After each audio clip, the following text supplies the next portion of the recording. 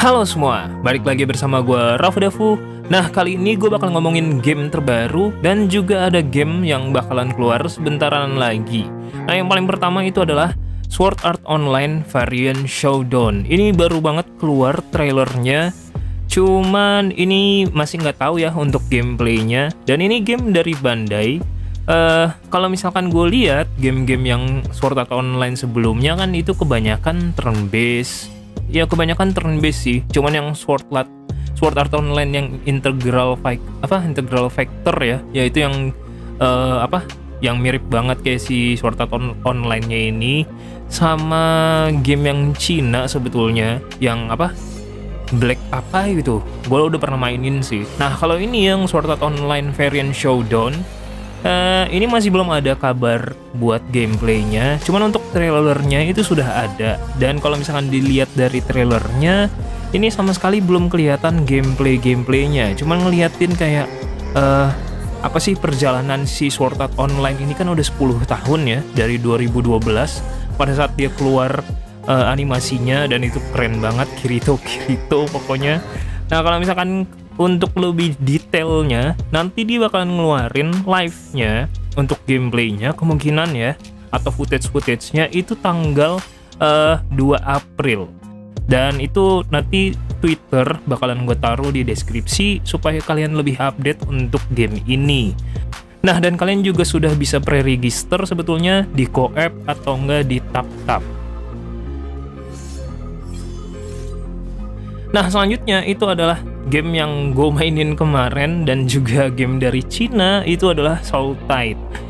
Ini Soul Tide kemungkinan sih nggak terlalu tenar-tenar banget kali ya, cuman gue suka banget game ini. Ini game turn-based RPG dan uh, bisa gue bilang ini bagus, bagus. Kalian harus banget mainin ini sih, soalnya ini udah global ya, dan tanggal keluarnya itu adalah besok 29 Maret. Ini gamenya pokoknya turn based bener-bener turn based kalau kalian bingung turn based nya kayak gimana kalian bisa nonton video gue tentang game ini cari aja Tide nah itu gue udah mainin dua versi ya. Yang versi Cina dan juga yang versi global seinget gue yang CBT nya nah ini gamenya tuh ada kayak teka-tekinya terus ada kayak puzzle-puzzle mini puzzle-nya. Dan ya ini lebih bener-bener turn based sih. Nanti kalian bakal ada giliran speed speednya kayak gitu giliran jalan. Cuman kalau misalkan dilihat dari animasi buat awal, mungkin kalau yang apa pecinta animasi kan kayaknya ya biasa aja sih. Cuman ini ini menarik banget karena turn base-nya gue suka, bukan turn base yang asal udah gitu aja lah. Enggak, ini tuh turn base-nya pas banget sih menurut gue.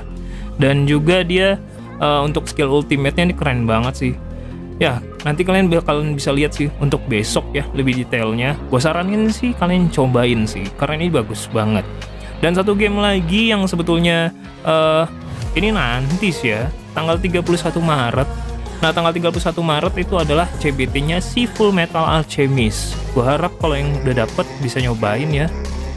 Ini game yang ketipu banget. ya pokoknya ini game uh, game strategi sama kayak si siapa namanya uh, lupa lagi Fire Emblem kayak mode-modelan kayak gitulah ini pokoknya tanggal 31 Maret sebentar lagi ya sampai tanggal 8 April untuk CBT nya si Full Metal Alchemist Mobile dan ya gitu aja untuk sekarang update-nya untuk game-game ini yang gue suka ya makanya yang gue updatein aja nah nanti yang selanjutnya untuk game atau hal lainnya bakalan gue update juga jadi gitu aja untuk sekarang. Terima kasih udah nonton. Jangan lupa like dan subscribe-nya sekali lagi. Terima kasih.